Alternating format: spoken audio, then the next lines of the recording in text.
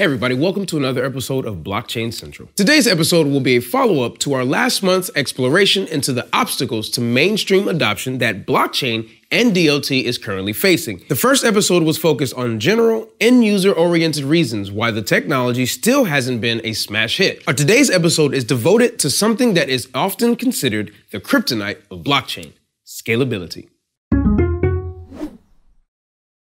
How serious is the scalability issue anyway?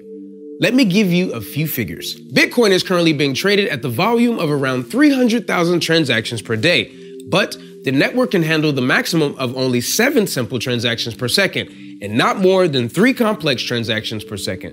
This means that the network is currently operating at close to its maximum capacity. Ethereum is not much better off, with the current limit of 15 transactions per second, even though the hypothetical capacity for transactions of a single Ethereum node is over 1,000 transactions, the existing gas limit lowers the figure significantly. EOS, on the other hand, a blockchain focused on speed and scalability, managed to grow up to 4 terabytes in under 8 months. Not particularly lean when you compare it to the other blockchains.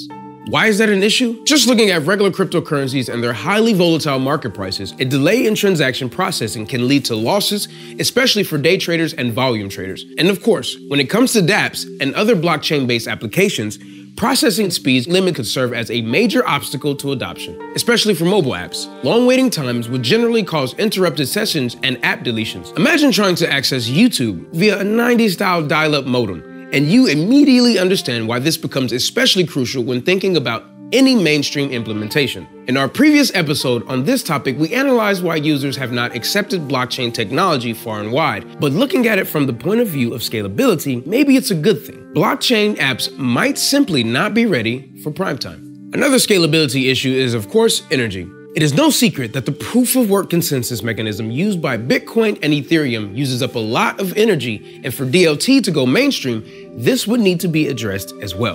What is important to note that these issues pertain primarily to public blockchains. In a private blockchain, even one based on a Bitcoin protocol, high speeds are achievable because you can ensure that every node on the network is a high quality computer with a high bandwidth connection. The fundamental challenge when it comes to scaling up blockchain projects is rooted in something called the scalability trilemma. This concept is connected to what we call a project management triangle. It is an idea that every product or a service can be characterized by only two of the below three characteristics. Number one, fast, two, cheap, and three, good. A product can be delivered quickly and can be cheap, but then it won't be good. It can be good and fast, but it will not be cheap.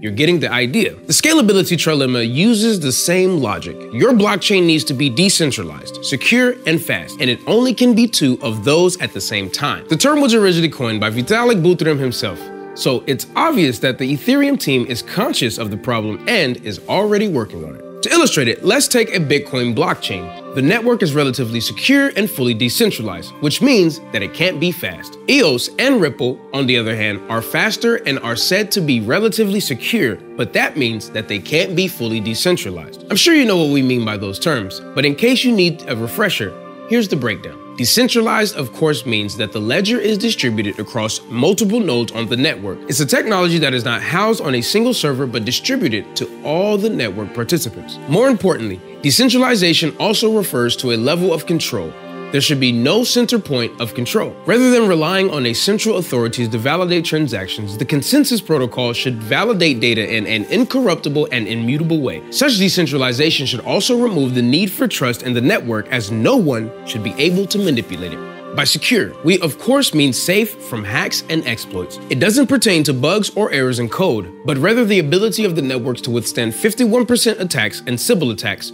where one actor assumes many identities. When it comes to speed, it means that blockchain can quickly process any transaction regardless of the volume and the number of network participants. Such an independence between speed and number of participants is what we most commonly refer to when we're thinking of scalability. Of course, most people have already accepted the reality that a blockchain solution will never be faster than a traditional database running on a single server.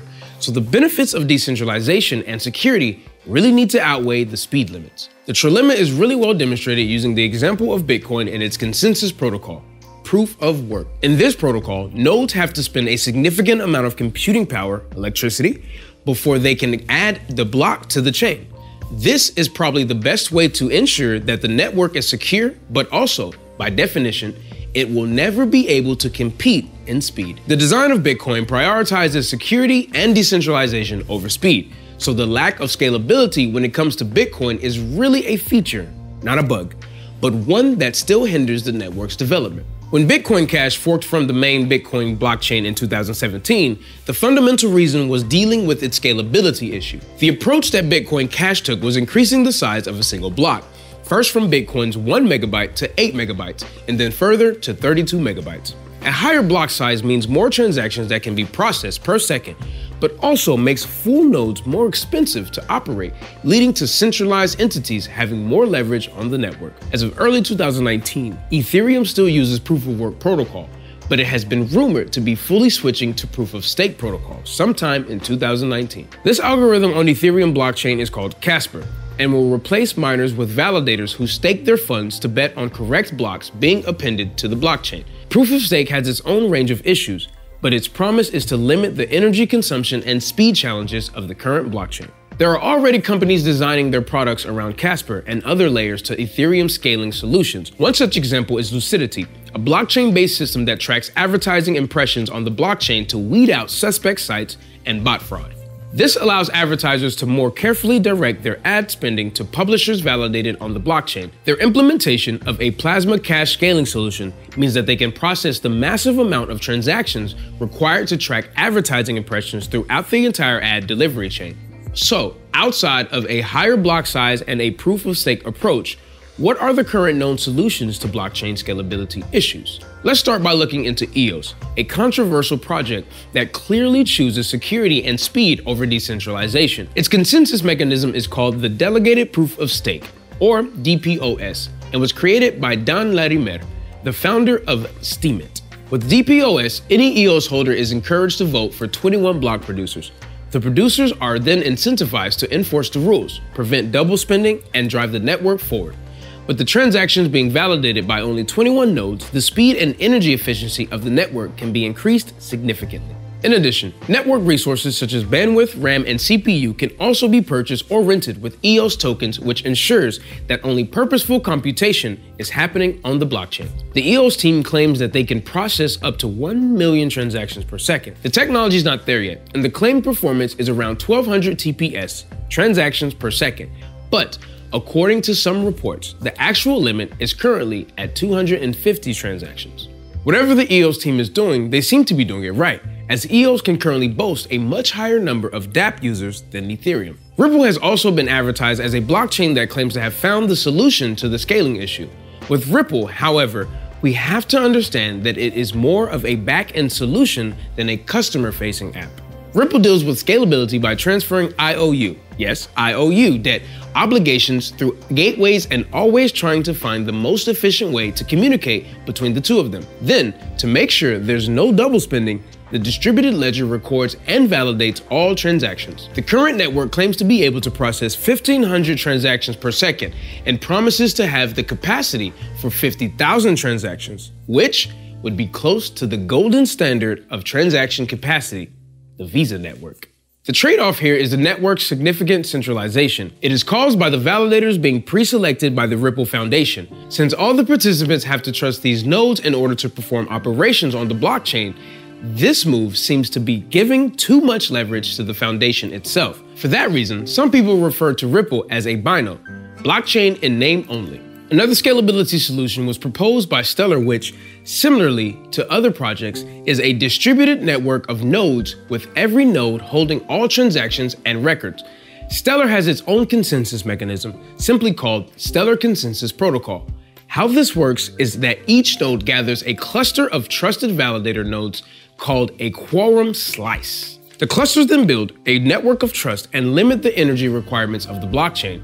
This allegedly allows for 1,000 transactions to be processed each second. The solution to the centralization issue here is that Stellar lets almost anyone run a node. You do not need to be selected by some unaccountable central entity. One problem with Stellar, however, is the lack of incentives as node operators do not get monetary rewards. This keeps the transaction fees very low, but can also limit the motivation to participate. Other potential solutions include sidechains or off-chain resources to take the burden away from the main blockchain. Sidechain is exactly what it sounds like, a secondary blockchain layer designed to facilitate lower cost and higher speed transactions between two or more parties.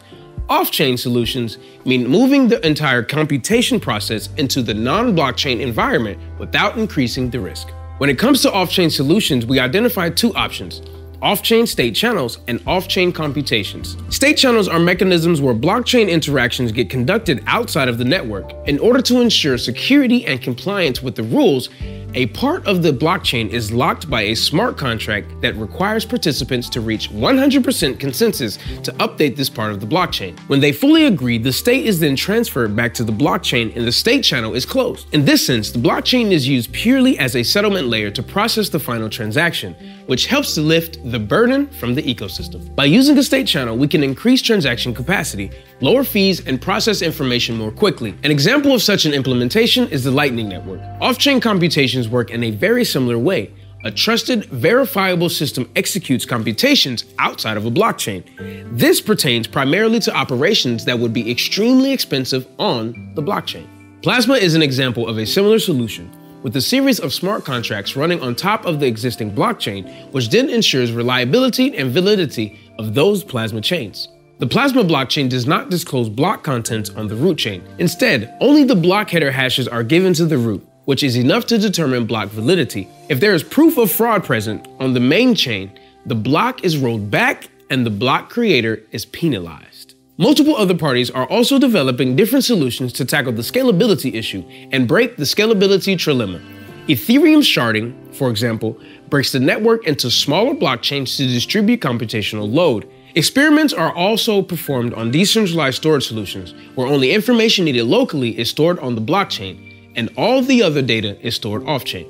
To sum up, scalability is a huge issue that remains probably the biggest obstacle to widespread adoption. One thing is certain, the solution that becomes the most successful needs to resolve the scalability trilemma. As we know, blockchain operations will probably always be slower than traditional centralized computing, and that's why these three benefits of DLT speed, security, and decentralization all need to be present in order to convince consumers to start using the technology on a wider scale. In addition, our current environmental challenges and general drive towards energy efficiency requires blockchain technologies to become much leaner in terms of consumption. Energy efficiency and increase in speed should therefore go hand in hand without compromising security or introducing a level of centralization that would negate the benefits of DLT. Before you go, Please note that this content does neither represent financial, legal, or tax advice, nor is it supposed to be understood or interpreted as solicitation to buy or sell any securities, coins, or tokens. Thank you for watching. If you like this video, make sure to hit the like button and don't forget to subscribe to Blockchain Central to never miss a beat. I'll see you on the next one.